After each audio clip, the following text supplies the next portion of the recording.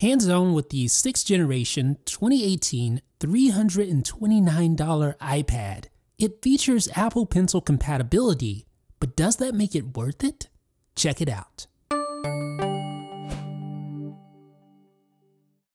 So we got the 6th generation iPad in the house. We're going to unbox it right now, and we're going to talk about this thing because it's a very interesting product.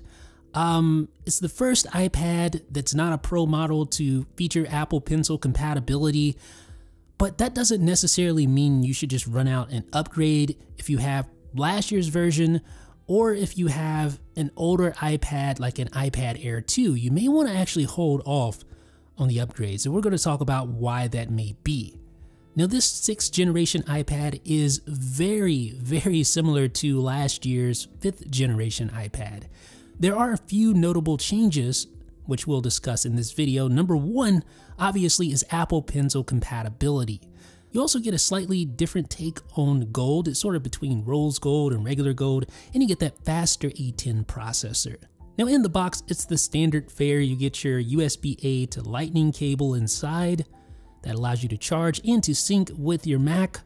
You get your standard fare designed by Apple in California packet, and that includes tips, regulatory information, and of course, the most important thing in the whole box this right here the Apple stickers. Of course. Now you also get your USB power adapter. This is, like last year, a 12 watt USB power adapter. And of course, you'll need that to recharge your iPad. So here it is, ladies and gentlemen, the 2018 6th generation iPad. Let's take the protective plastic off just set that aside, flip it over, and there we go.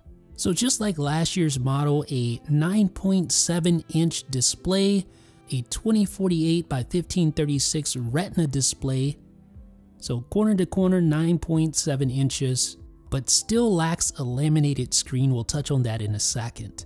So here's the rear. You see that gold color, sort of a cross between rose gold and standard gold. Here's your 8 megapixel rear facing camera with 1080p HD recording. Here's your 1.2 megapixel FaceTime HD camera 720p. Got a pair of speakers on the bottom.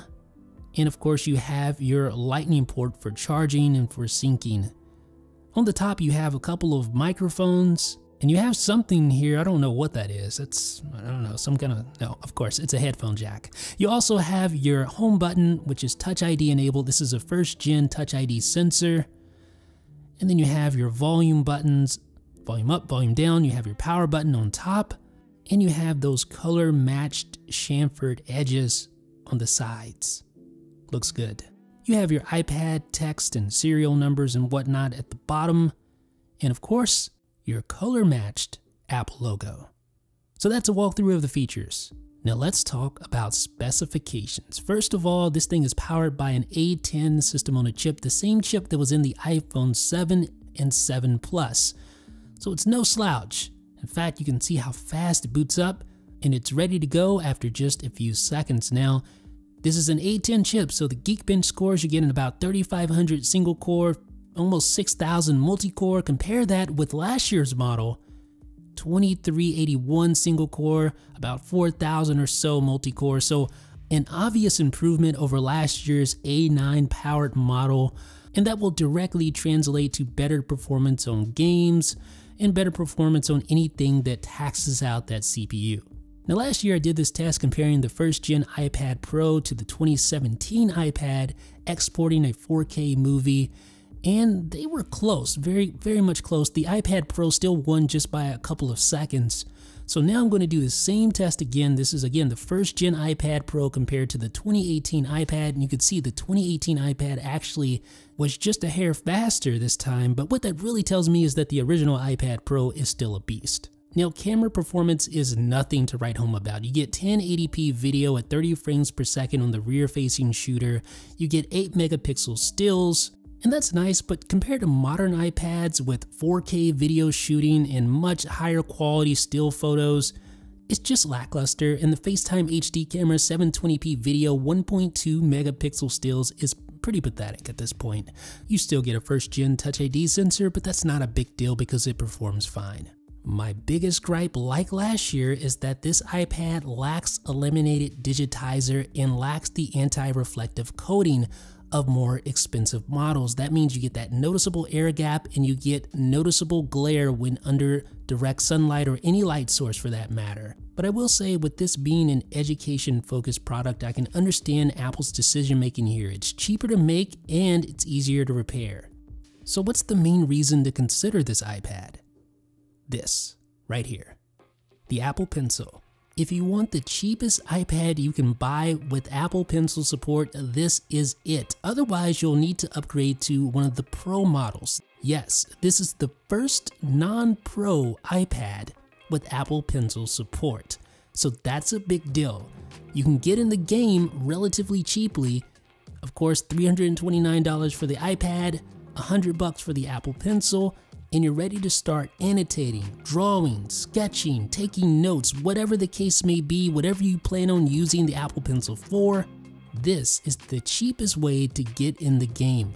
I've tested it out with several apps and I could say that the performance is really good. Now, it's not as good as the latest generation iPad Pro with that Pro Motion display because that helps out with the Apple Pencil's responsiveness, but it is just as good as a first gen iPad Pro.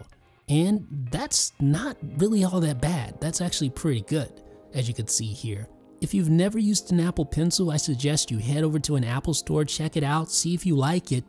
Chances are you're going to love it because it is one of the best stylus experiences I've ever used. Even on this budget-minded iPad, which features older hardware inside. Now, not everyone should run and jump and upgrade to this. If you bought last year's model and you don't care about Apple Pencil support, then there's no need to upgrade to this iPad in my opinion. If you have an iPad Air 2, the decision is a little tougher because you don't get that laminated digitizer which the iPad Air 2 has, but you do get Apple Pencil support, so you kind of have to weigh that out and see what you think. I would upgrade to a Pro model if I was coming from an iPad Air 2 for sure. But if you need Apple Pencil support and money is tight, then yeah, go ahead and check out the 2018 iPad. If you have the money to spare though, I highly suggest sticking with the 10.5 inch iPad Pro. Not only do you get Apple Pencil support, but you also get smart keyboard support, which this iPad doesn't have. So ladies and gentlemen, what do you guys think about the 2018 iPad? Is it a good deal? Is it for you? Let me know down below in the comments section. This is Jeff with 9 to 5 Mac.